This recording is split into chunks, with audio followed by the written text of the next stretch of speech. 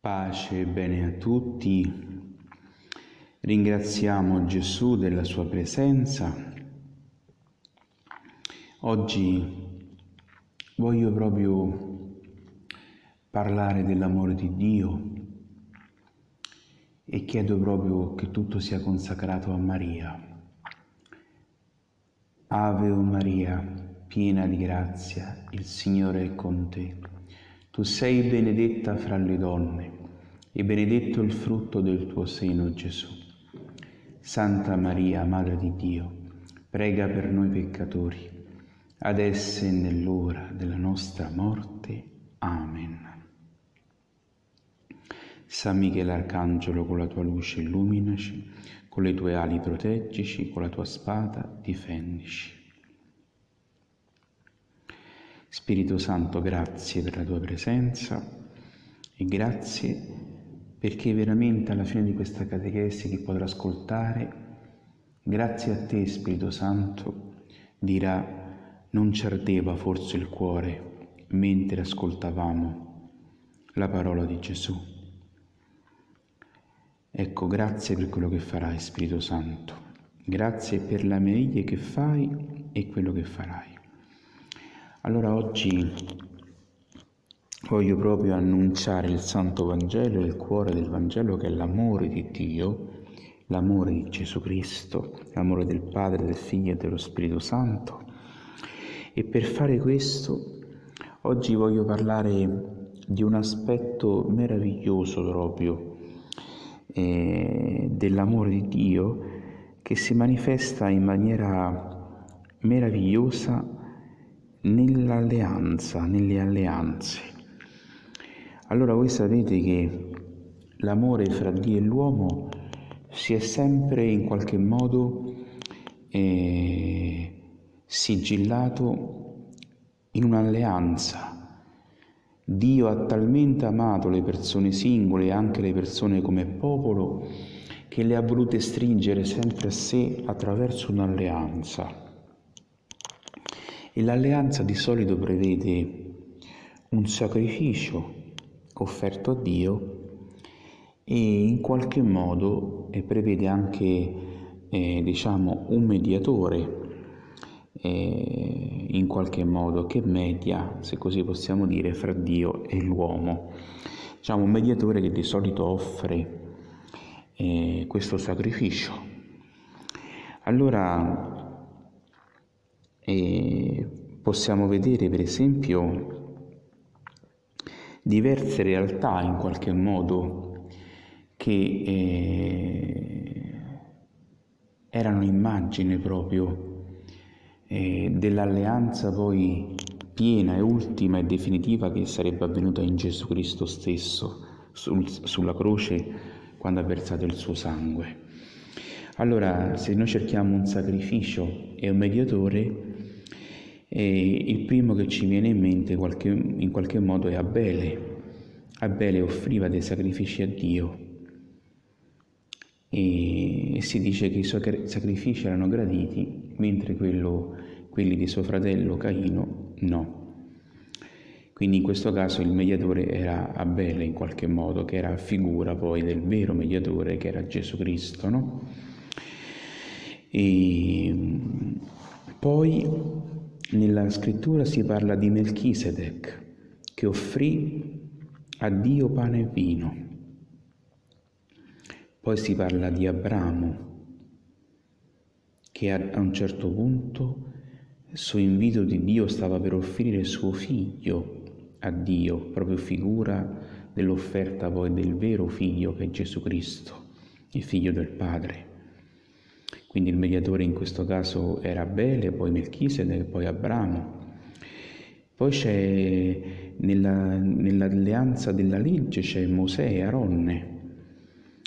E Mosè eh, offre le cose eh, eh, in quanto profeta del Signore e Aronne in quanto sommo sacerdote. Vi ricordate che i sommi sacerdoti, i sacerdoti offrivano nel Tempio gli agnelli, gli olocausti, le offerte, e, e tutto quello che c'è scritto nella legge di Mosè. Quindi vedete Abele, Melchisedec, Abramo, Mosè e Aronne, poi ad esempio c'è anche Noè, che viene ancora prima di Mosè e Aronne, che uguale, uguale è, è mediatore di un'alleanza. E Dio gli dice di costruire un'arca, dice di, di portare in quest'arca eh, le coppie di animali che poi sarebbero rimaste vive. E, e, e quindi vedete Abele, Noè, Melchisedec, Abramo, Mosè e Aronne e infine c'è la vera alleanza, quella definitiva, le altre erano tutte immagini, immagini eh, della vera alleanza che è quella in Gesù Cristo. Allora, ogni alleanza ha avuto eh, in qualche modo un patto è appunto fra Dio e l'uomo. Ma in qualche modo tutte le alleanze di prima e tutti questi patti di amore, e stiamo parlando appunto dell'amore di Dio che si manifesta in particolare nell'alleanza, in qualche modo erano sempre difettose, fino a quando è arrivata l'alleanza perfetta. Naturalmente erano difettose non dalla parte di Dio, Dio non ha mai difetti, ma dalla parte dell'uomo. E allora finalmente è arrivata l'alleanza perfetta, sia perfetta dalla parte di Dio, sia perfetta dalla parte di chi la offriva. Perché? Perché se nell'alleanza c'è un sacrificio e c'è un mediatore, nella nuova ed eterna alleanza, quella offerta da Gesù, il sacrificio era Gesù stesso che era perfetto e il mediatore, colui che si offriva al Padre, era Gesù stesso ancora. Quindi era perfetto il mediatore ed era perfetto il sacrificio. In tutti gli altri non si poteva dire che le offerte erano perfette perché? Perché chi offriva era un uomo, era Bele che offriva, era Abramo che offriva, era Mosè che offriva, era Noè che offriva. E l'alleanza stessa di Melchise, per quanto perfetta, ma non era l'alleanza perfetta come la voleva Dio. L'unico in cui si è compiaciuto il Padre e ha detto proprio questi è il figlio mio prediletto, l'amato, in lui mi sono compiaciuto, cioè l'unico sacrificio di cui si è compiaciuto Dio completamente, definitivamente ed eternamente, perché offerto da un mediatore perfetto è quello offerto da Gesù, proprio perché il mediatore è perfetto e il sacrificio è perfetto. E oltretutto i sacrifici offerti dagli altri erano limitati perché potevano offrire il pane e il vino come, come segno, era un segno di quello che poi sarebbe stato il sacrificio offerto, ma soltanto un'immagine, non era la realtà un segno. Oppure offrivano un capro, oppure anche se offrivano un figlio come Abramo, ma era sempre l'offerta, tra virgolette, di un essere umano che è difettoso, e voi vi ricordate che nella legge di Mosè si dice che l'agnello che si doveva sacrificare doveva essere senza difetti. Quindi l'unico sacrificio senza difetti che veramente si è realizzato è stato quello di Gesù Cristo, perché al Padre si è offerto Gesù che è veramente il Verbo fatto carne, Dio fatto carne. Quindi il sacrificio è perfetto sia perché il sacrificio è voluto da Dio, sia perché l'umanità di Cristo era perfetta, senza peccato, innocente, santo, perfetto. Quindi veramente Gesù è l'agnello senza difetti. E questa è una cosa meravigliosa, sapete perché? Adesso vi mostrerò per la grazia del Spirito Santo le differenze fra le alleanze passate e la meravigliosa alleanza in Gesù Cristo. E come dire, vi mostrerò la differenza fra l'amore che c'era nel patto fra Dio e l'uomo nelle alleanze passate e invece l'amore perfetto che si manifesta nell'alleanza fatta in Gesù Cristo stesso, nel sacrificio di Gesù, nella sua passione, morte e risurrezione. Allora, e,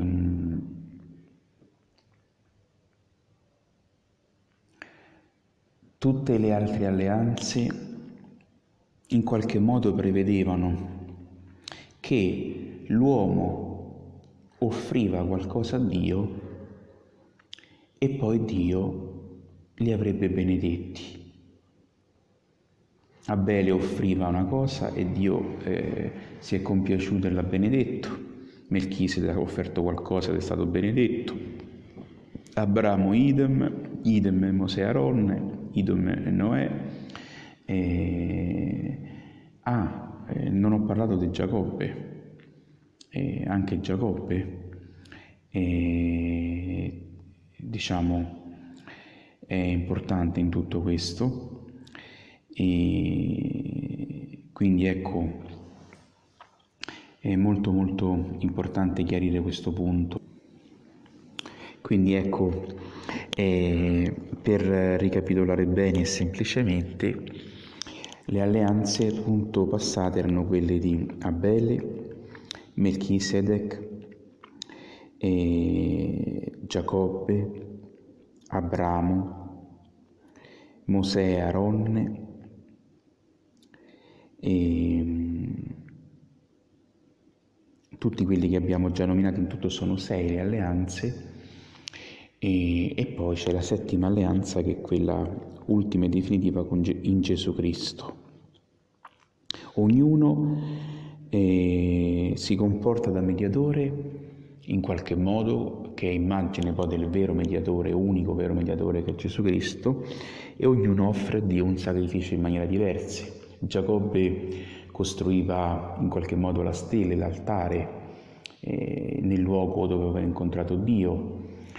E, e, e tutto quello che abbiamo detto, no? poi non, non mi sto a approfondire qua tutte quante le cose per descriverle perché eh, l'indicazione di queste alleanze è soltanto poi eh, importante per parlare della nuova ed eterna alleanza, quella è quella dove ci soffermiamo perché le racchiude tutte, le, le, diciamo, le compie tutte. Una volta che si capisce quello di Gesù, poi nel tempo approfondiremo sempre più anche le altre. Allora, vi dicevo, la, una delle, delle eh, la prima differenza fondamentale della nuova eterna alleanza di Gesù e le altre è che nelle altre si offriva, c'era un mediatore e c'era un sacrificio, ma, ma non era mai perfetta in qualche modo l'offerta. In qualche modo Dio in vista di Gesù la vedeva perfetta, ma in sé non lo era, perché eh, appunto eh, si offriva sempre qualcosa da parte dell'uomo che non poteva essere perfetto, perché dall'uomo l'uomo da solo non può essere perfetto, anche se offre una cosa con tutto il cuore, eh, non è una cosa perfetta come la vorrebbe Dio. Invece, come vi ho detto, in Gesù Gesù offre se stesso e quindi agnello senza difetti, quindi il sacrificio è perfetto e ha meriti infiniti, non è difettoso in nulla, e il mediatore è unico ed è perfetto. Quindi l'alleanza diventa perfetta perché c'è il mediatore perfetto e il sacrificio perfetto. Qual è? Questa è la prima cosa importante, la prima distinzione meravigliosa per capire la nuova eterna alleanza. E poi c'è un'altra cosa importantissima. E è talmente vera questa cosa che vi dico che sulla croce ci insegna il catechismo della Chiesa Gesù si è offerto al Padre, quindi da mediatore ha offerto se stesso in sacrificio al Padre, quindi è stato sulla croce si è offerto direttamente lui al Padre. E il Concilio Vaticano II dice che Gesù continua lui ad offrirsi oggi al Padre per le mani dei sacerdoti durante la Santa Messa. Quindi anche la Santa Messa è l'unico sacrificio di Gesù sulla croce e viene riofferto al Padre per le mani dei sacerdoti, ma è Gesù come unico mediatore che lo offre per le mani dei sacerdoti e quindi anche la messa è, essendo l'unico sacrificio della croce, un sacrificio perfetto. Infatti la liturgia della Chiesa dice, eh, o Dio che in questo eh, sacrificio perfetto, se voi leggete il primo canone della messa, uguale, dice che il sacrificio della croce che si rioffre proprio per le mani dei sacerdoti, il, il sacrificio che si offre sulla croce e sull'altare è lo stesso, cambia solo il modo. Sulla croce l'ha offerto direttamente Gesù e sull'altare Gesù lo offre per le mani dei sacerdoti, ma è l'unico ed eterno sacrificio con meriti infiniti, sempre lo stesso. Questa è un'altra cosa meravigliosa.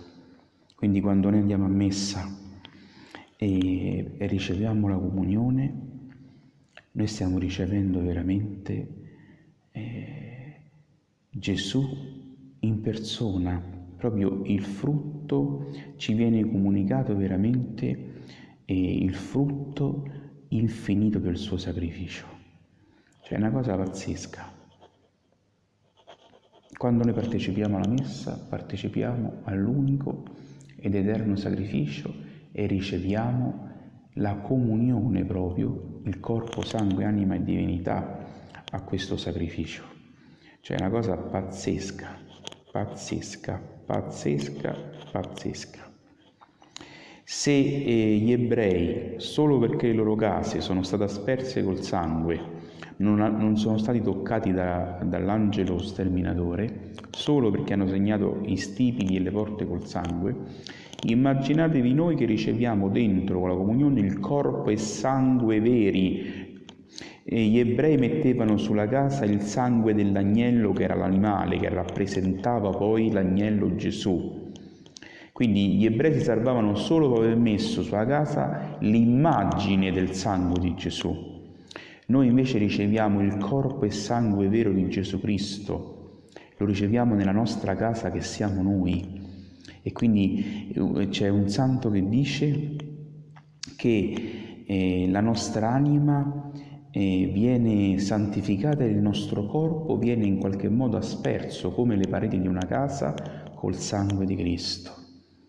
Perché il nostro corpo sono come le pareti della casa. Quindi sulla nostra porta cioè sul nostro, sulla nostra bocca in qualche modo che possiamo considerare la porta, viene proprio, riceviamo infatti il corpo e sangue di Cristo. Sulla porta della casa degli ebrei veniva sparso il sangue, invece nella nostra porta entra proprio, non solo nella nostra bocca viene, eh, viene veramente irradiata da questo sangue, ma proprio lo riceviamo dentro di noi, il vero poi sangue, il corpo di Cristo, l'anima, la divinità, non l'immagine. Pensate che significa questo?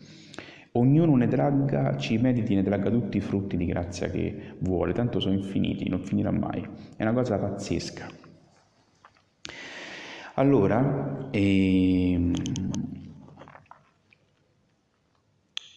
questo è, diciamo, è una cosa, è la prima cosa, la prima differenza fondamentale eh, fra l'alleanza di Cristo e le altre. E poi un'altra, un'altra differenza importantissima è questa. Nelle altre alleanze l'uomo offriva qualcosa, l'uomo rispettava la legge e Dio lo benediva. Invece la nuova alleanza è ancora più meravigliosa perché perché non è l'uomo che offre qualcosa e Dio lo benedice, ma è Dio stesso in Gesù Cristo che si offre al Padre e quindi ci ottiene la benedizione. Cioè, mentre la benedizione nelle altre alleanze era fondata su un'offerta difettosa che facevano gli esseri umani, invece la nostra benedizione è fondata su un'offerta perfetta e questo vuol dire che mentre nella offerta difettosa di prima la benedizione ci poteva essere strappata, in quella di adesso non può essere strappata. Infatti San Paolo dice Nessuno ci può separare dall'amore di Dio in Cristo Gesù, perché l'alleanza adesso è fondata in Cristo Gesù che è mediatore e sacrificio perfetto.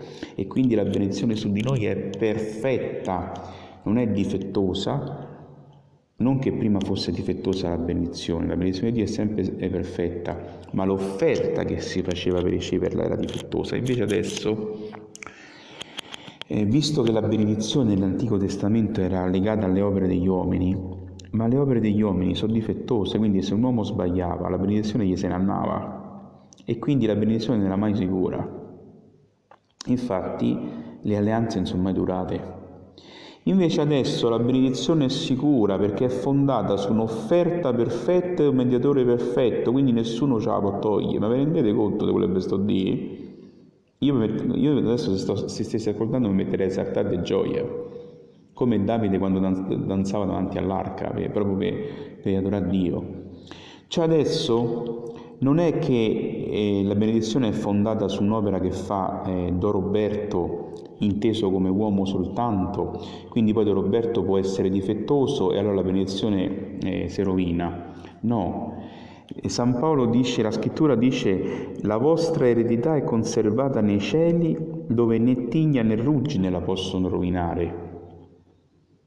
Perché? Perché non è fondata in prima battuta sulle opere di Roberto, ma è fondato prima di tutto sul sacrificio perfetto di un mediatore perfetto. Allora, che cosa comporta che c'è stato un mediatore perfetto che ha offerto una sacrificio perfetto, comporta che la benedizione è fondata, come dice San Paolo nelle lettere romani, è fondata non sulle opere soltanto umane, come nella legge di Mosè, ma è fondata sulla grazia, cioè è fondata su quel, sul sacrificio che Gesù ha fatto per noi. Infatti Gesù dice, prendete e bevetene tutti, questo è il calice del mio sangue per la nuova ed eterna alleanza. Cioè l'alleanza è fondata sul calice del sangue di Cristo, quindi è fondata su un'opera divina e umana, è fondata sul verbo fatto carne, quindi è un'opera divina e umana, non è soltanto umana, ed essendo divina e umana non si può consumare, non si può rovinare, perché in sé è perfetta, è un sacrificio perfetto e rende perfetti tutti quelli che santifica, dice la lettera agli ebrei. Allora ecco, questo è importantissimo.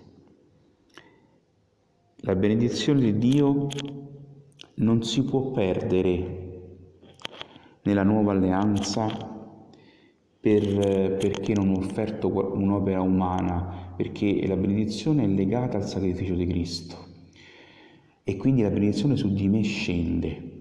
Poi come ci insegna la Chiesa, io questa benedizione posso cooperare, cioè accettarla o no.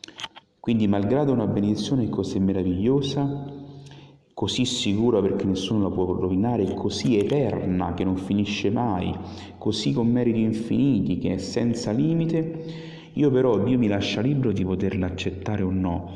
E quindi allora, malgrado la benedizione ormai in sé perfetta, io posso disprezzarla, rifiutarla, compiere la bestemmia contro lo Spirito Santo fino alla fine della vita, quindi non pentirmi mai dei miei peccati, non convertirmi mai e quindi andare all'inferno. Perché la Chiesa ci insegna che la benedizione è così perfetta, dato che è ottenuta da un mediatore, un sacrificio così perfetto come Gesù, che se io l'accetto così come ci insegna la Chiesa Cattolica, questa benedizione eh, contiene e porta come frutto il perdono di tutti i peccati. Infatti addirittura Gesù ha istituito un sacramento per il perdono di tutti i peccati. Perché?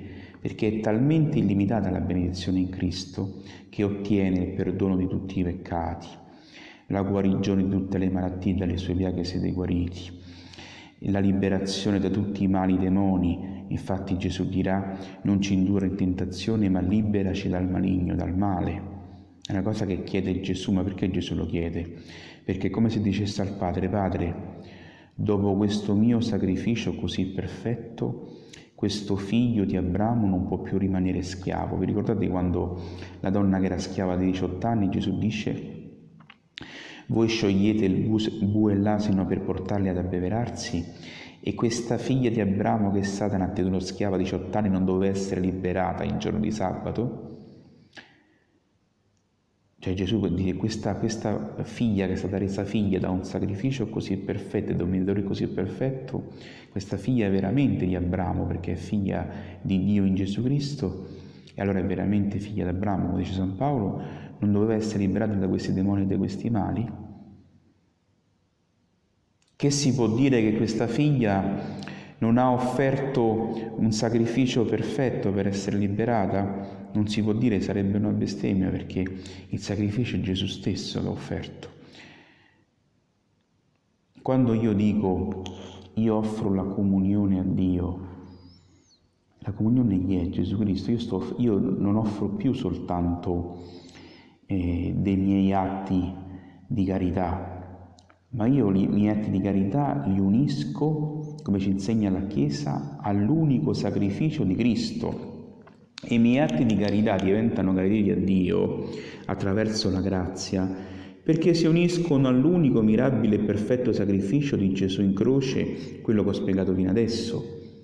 Altrimenti Dio non si compiacerebbe dei nostri atti di carità e dei nostri sacrifici, perché davanti a Lui sarebbero sempre difettosi perché solo umani. Invece, quando io unisco a Gesù, il sacrificio diventa umano perché è unito a Gesù e divino perché è unito al Verbo fatto carne, a Gesù che è Dio fatto carne. E allora diventa un sacrificio perfetto il mio, ma perché l'ho unito al sacrificio perfetto di Cristo. Ecco perché io posso offrire le mie sofferenze, come ci insegna la Chiesa.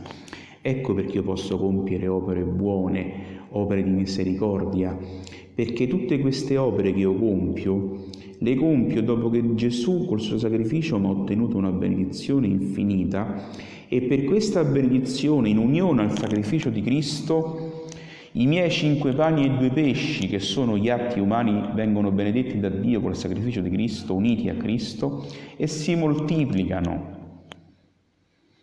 e diventano carità che sazia intere folle, l'umanità intera.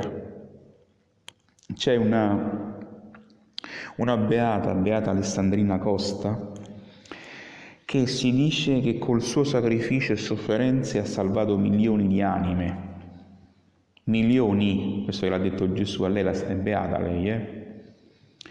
Ma non è che le sue sofferenze, le sue sofferenze unite a quelle di Gesù sono diventate perfette e unita all'unico mirabile sacrificio, all'unico mediatore fra cielo e terra, per intercessione di Maria, degli angeli e dei santi, ma gli angeli Maria intercedono e partecipano della mediazione di Cristo. Ma l'unico vero mediatore in sé è il Verbo fatto l'uomo, è Gesù Cristo. Tutti noi partecipiamo del sacerdozio di Cristo e quindi partecipiamo della sua mediazione e quindi noi possiamo mediare, cioè offrire i nostri sacrifici, ma in unione all'unico mediatore, all'unico sacrificio e allora i nostri sacrifici davanti al Padre acquistano il valore del sacrificio di Gesù. Ma senza il sacrificio di Gesù, i nostri sacrifici, i nostri atti di carità, le nostre opere non non diventano perfette davanti a Dio. Dio, come diceva Santa Teresa d'Avila, Dio si compiace dell'umanità di suo figlio e compiacendosi dell'umanità di suo figlio, nell'umanità di suo figlio si compiace anche dei nostri atti umani che gli offriamo. Ma senza l'umanità di Cristo non c'è un'umanità in cui Cristo si compiacerebbe, perché anche la Madonna è stata preservata e resa perfetta in vista dei meriti di Cristo, cioè in vista dell'unico mediatore, dell'unico sacrificio di Cristo. Altrimenti senza questo sacrificio e mediatore neanche Maria sarebbe stata resa perfetta. Quindi questo è, è pazzesco. Eh? Allora ti do, ti do una bella notizia a te che puoi ascoltare. La tua benedizione non è fondata sulla tua difettosità, ma è fondata su quello che Gesù ha fatto per te. E proprio perché Gesù ti ha ottenuto una benedizione così infinita, tu puoi anche convertirti dai tuoi difetti, dai tuoi peccati, puoi fare opere buone, tutto quello che ci insegna la Chiesa Cattolica. Ma ricordati sempre che tu puoi fare tutto questo perché fra te e Dio c'è un'alleanza nuova, la nuova eterna alleanza che è stata fatta nella, nel sacrificio perfetto e nel mediatore perfetto che è Cristo. È Cristo che rende perfetta l'umanità, rende perfetti i sacrifici, eh, rende perfetto eh, tutto quello che Dio eh, vuole che sia reso perfetto per dargli gloria. Ma senza Gesù Cristo eh, non c'è altro nome sulla terra in cui si può trovare salvezza. Questo è veramente pazzesco. Allora, adesso voglio fare un ulteriore passaggio, è l'ultimo, ma è di una bellezza pazzesca. Se voi prendete gli atti degli Apostoli, e c'è scritta una cosa, Atti degli Apostoli 13 versetti 32 in poi, 13 versetti 32 in poi. Allora sentite, e noi vi annunciamo, che in latino è e noi vi predichiamo, che la promessa fatta ai padri si è realizzata. Cioè la promessa fatta ai padri, i padri so Abele, e Giacobbe, e Mosè Aronne, Noè, tutti quelli che abbiamo detto, no? E modo, a modo, a modo suo, diciamo, un'alleanza, diciamo, in qualche modo, forse tra, eh, potremmo dire la più perfetta rispetto a Gesù, perché si dice sei sacerdote per sempre al modo di Melchisedec, no? Ma naturalmente Melchisedec era un'immagine, il vero perfetto è Gesù. Allora, la promessa fatta ai padri, e vi ricordo tutti i padri sono quelli prima appunto di Gesù, si è realizzata, sentite qua che meraviglia, perché Dio l'ha compiuta per noi, Dio l'ha compiuta per noi, loro figli, risuscitando Gesù. Quindi Gesù è morto, si è offerto in sacrificio, ed ha offerto come mediatore un sacrificio perfetto. Quindi, per questo sacrificio l'alleanza si è compiuta, come dice qui, la promessa si è compiuta, la promessa è l'alleanza, la promessa di un'alleanza. Quindi l'alleanza si è compiuta, però sentite bene, non bastava che Gesù morisse, questo ha compiuto l'alleanza. Ma San Paolo dice una cosa meravigliosa. Dice quando c'è un testamento, c'è una promessa, deve prima morire il testatore e dopo diventa attuale la promessa. Quindi Gesù è morto, ha offerto il sacrificio, ha realizzato il testamento, la promessa, è morto, il testamento è diventato quindi attuale per noi figli. Infatti dice, Dio l'ha compiuta, cioè l'ha resa attuale per noi, risuscitando Gesù. Quindi Gesù morto ha realizzato il sacrificio e ha realizzato la promessa fatta ai nostri padri di un'alleanza nuova. E questa alleanza in Gesù che è risorto, e dopo che è morto il testatore, Gesù appunto è risorto e lui stesso è risorto come testatore, prima è morto e poi è risorto e lui stesso l'ha resa, dice qui, attuale per noi figli. Quindi per te il perdono dei peccati dopo la resurrezione di Gesù Cristo è attuale la promessa che era contenuta nell'alleanza che ha come prima cosa il perdono dei peccati, lo scioglimento dell'inimicizia fra l'uomo e Dio, è attuale ed è attuale, cioè il testamento è valido. Dopo la morte di Gesù a risurrezione è valido il testamento, ormai l'eredità è tua.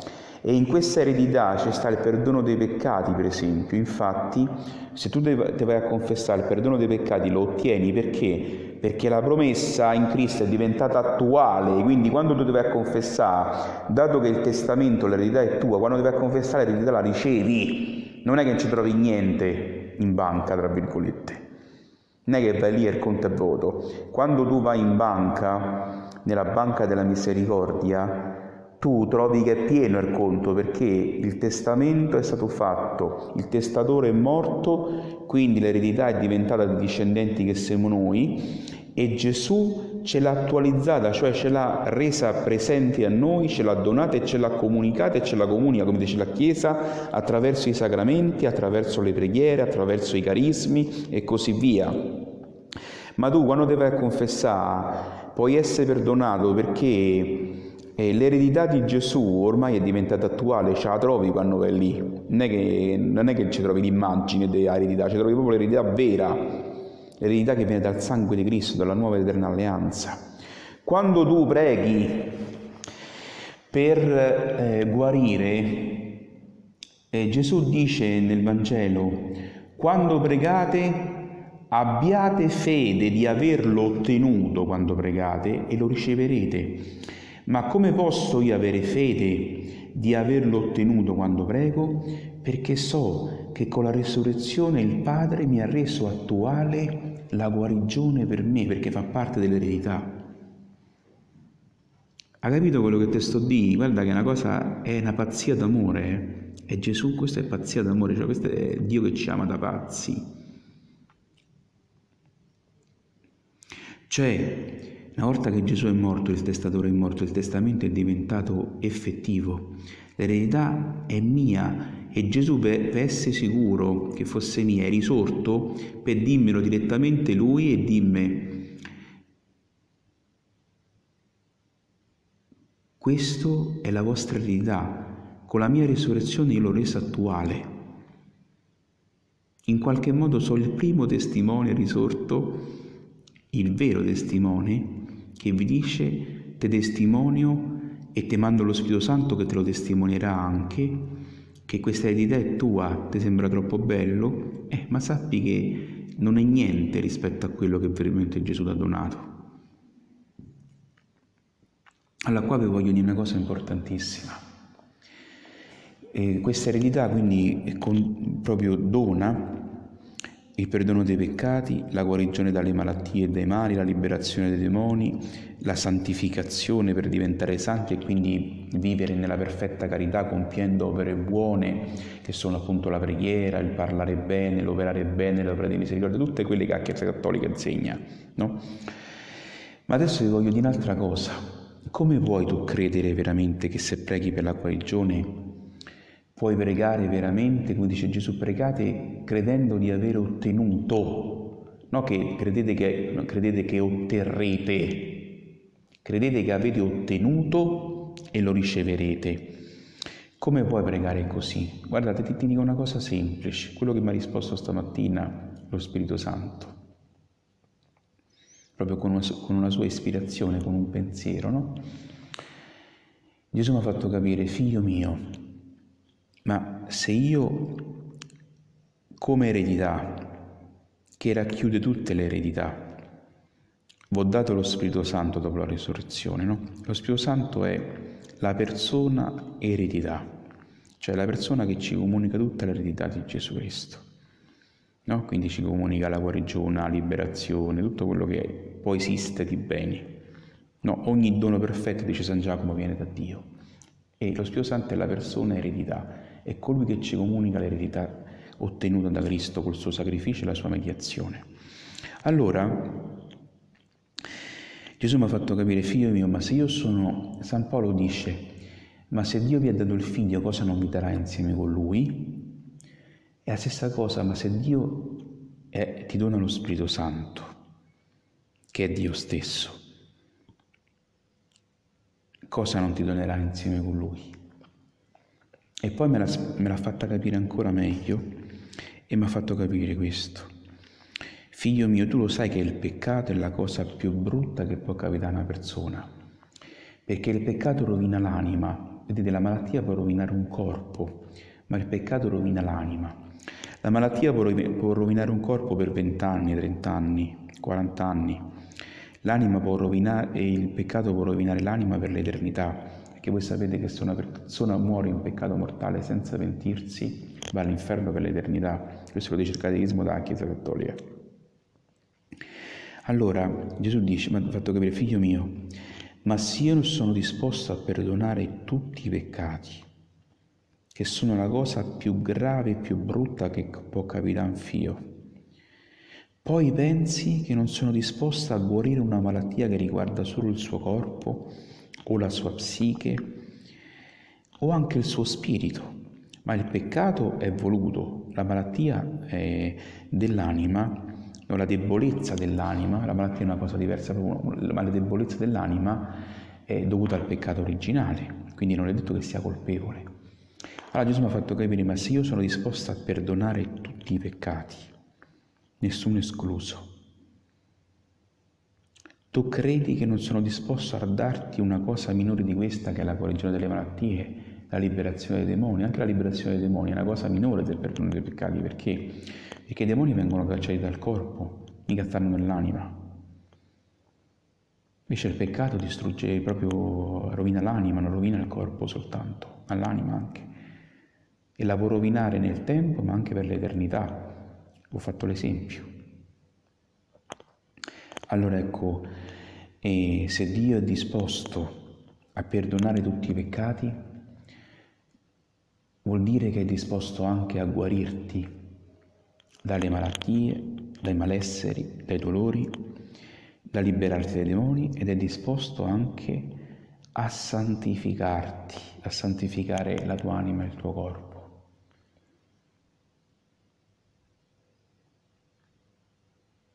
Considerate che adesso eh, io vi ho, fatto, vi ho letto questo passo meraviglioso dove si dice che eh, noi vi annunciamo che la promessa fatta ai padri si è realizzata perché Dio l'ha compiuta per noi, loro figli. Sentite, Dio l'ha compiuta per noi figli, eh, per darci l'eredità a noi figli, risuscitando Gesù. Nel momento in cui Gesù è risuscitato, l'eredità è stata donata ai figli, a noi. Allora, adesso vi dico due cose che ci aiutano ancora di più a innamorarci di Gesù.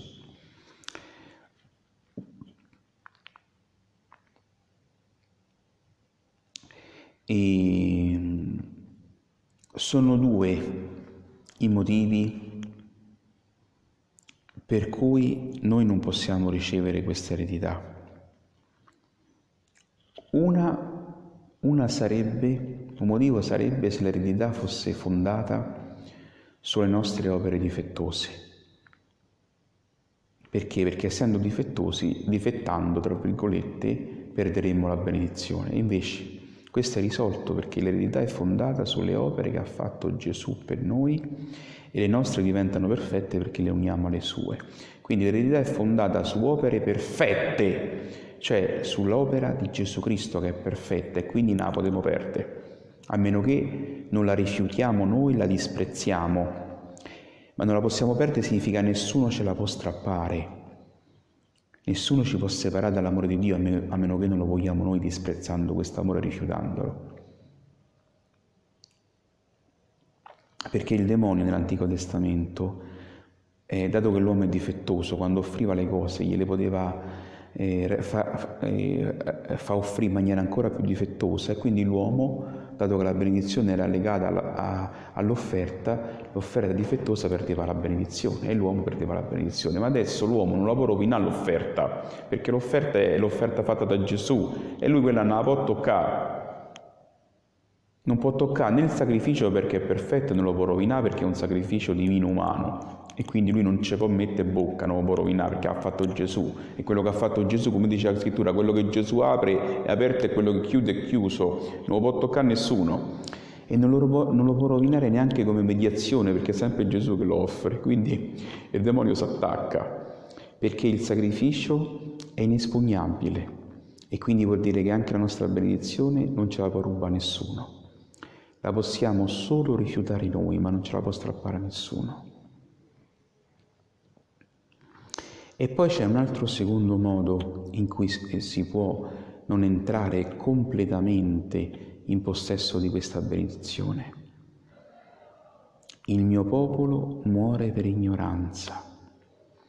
Infatti si dice, San Paolo dice, se non c'è chi predica non ci sarà chi ascolta, se non ci sarà chi ascolta non ci sarà chi crede e se non ci sarà chi crede non ci sarà chi in qualche modo scoprirà quello che Gesù ha fatto, le meraviglie che Gesù ha fatto per lui e quindi in qualche modo per ignoranza perderà la benedizione.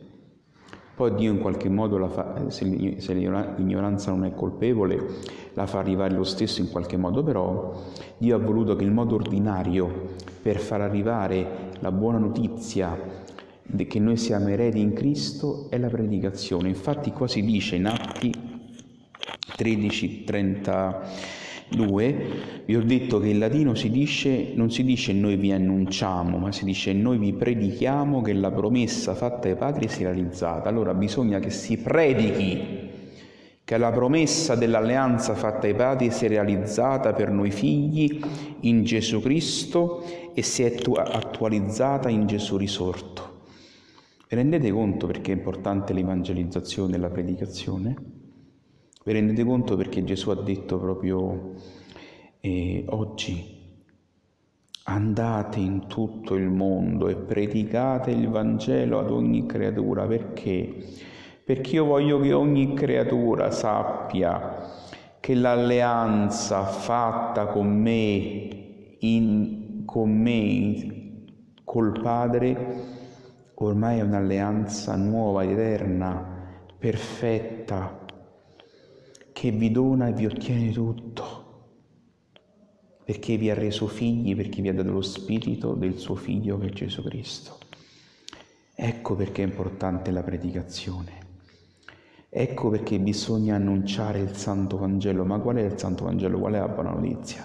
La buona notizia, come dice qui Atti 13, 32, è che la promessa fatta ai nostri padri, cioè la promessa dell'alleanza, si è realizzata in Cristo e si è attualizzata per noi e per tutte le epoche sarà attuale, perché una volta che Cristo è risorto è vivo e intercede presso il Padre ed è vivo in eterno.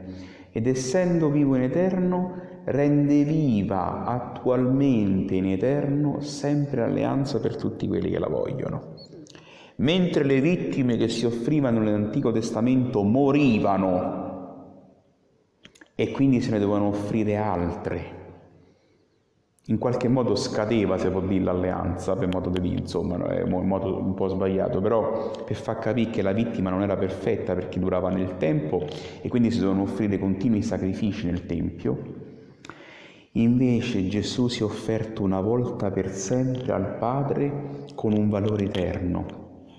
Infatti io quando offro la Santa Messa non offro un nuovo sacrificio o un altro sacrificio, ma io offro sempre quell'unico eterno sacrificio di Gesù. Solo che là Gesù l'ha offerto lui direttamente sulla croce e adesso lo offre per le mani dei sacerdoti, ma è l'unico eterno meriti infiniti del sacrificio, perché non c'è bisogno di nuovi sacrifici, perché l'unico ed eterno sacrificio è il sacrificio perfetto. Vi rendete conto? Non ci potranno essere nuove alleanze, perché ormai è, c'è stata la nuova ed eterna alleanza. Gesù lo dice, calice del mio sangue è la nuova ed eterna alleanza versato per voi e per tutti, per voi e per tutti, quindi per tutte le epoche, in remissione dei peccati. Perché Gesù ha detto in remissione dei peccati e non ha detto in remissione delle malattie, in remissione dei, delle possessioni, in remissione perché? Perché una volta che Dio è pronto a rimettere i peccati, che è la cosa più brutta che esiste, la malattia più brutta che esiste, è pronto a rimettere pure tutte le altre delle cose brutte, perché tutte le altre sono meno di quella. Se una persona è disposta a darti mille miliardi, poi non fa problemi a darti 10 euro. Ecco perché non lo specifica Gesù. Ecco, questo è veramente la meraviglia è una scintilla di questa meraviglia, perché capirai, si potrebbe predicare tutta l'eternità, anzi non basterà l'eternità per adorare queste meraviglie, però la nuova ed eterna alleanza è diversa dalle altre alleanze, le compie le altre alleanze, tutti i sacrifici rappresentati nelle altre alleanze vengono compiuti nell'unico e mirabile sacrificio di Gesù Cristo al Padre. Infatti dice, non hai voluto né sacrificio né offerta, ma un corpo mi hai preparato, cioè, Padre, non hai voluto i sacrifici e le offerte delle alleanze passate, ma mi hai preparato un corpo, infatti il Verbo si è fatto carne. E Gesù non ha offerto un agnello, non ha offerto una capra, ha offerto se stesso, il suo corpo e sull'altare infatti si offre il corpo e il sangue di Cristo. Vedete che è l'unico mirabile sacrificio? È una cosa incredibile, è, è, è, è da in estasi, veramente, perché è, è una, un, un essere di colmi dell'amore di Dio che non ha limiti, non ha limiti, è qualcosa di, di incredibile per darvi l'ultima prova biblica che eh, quello che vi ho detto è tutto vero. Se voi prendete Giovanni 19:30, in latino si dice consumatum est, cioè tutto è compiuto. Quindi quando Gesù stava morendo ha detto tutto è compiuto. Cioè la nuova alleanza è completamente compiuta, adesso io come testatore muoio, il testamento è valido, l'eredità va ai miei figli, tutto è compiuto, è compiuto il perdono dei peccati che poi si attualizza e viene comunicato attraverso i sacramenti, è compiuta la guarigione di tutte le malattie, è compiuta la liberazione da tutti i demoni, è compiuta la santificazione, è compiuta la redenzione. È compiuto tutto quello che Dio aveva promesso. Per mezzo dei padri in tutte le altre alleanze si è compiuto in maniera definitiva, eterna, mirabile, unica in Gesù Cristo, nella sua mediazione e nel suo sacrificio. Amen, amen, amen, amen.